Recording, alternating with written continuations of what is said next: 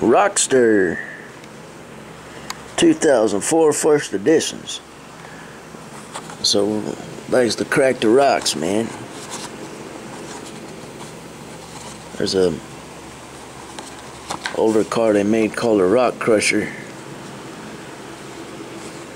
This is this is looks like a Hummer of some type.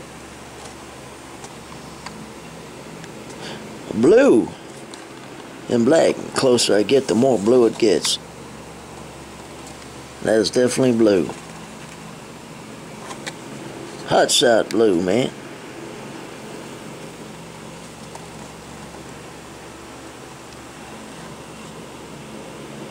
That's all I'm gonna do.